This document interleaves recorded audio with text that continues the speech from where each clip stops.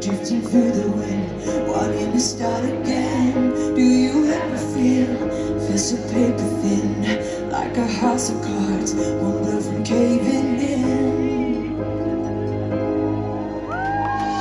Do you ever feel already buried deep, six feet under screens, but no one seems to hear a thing? Do you know that there's still a chance for you? Cause there's a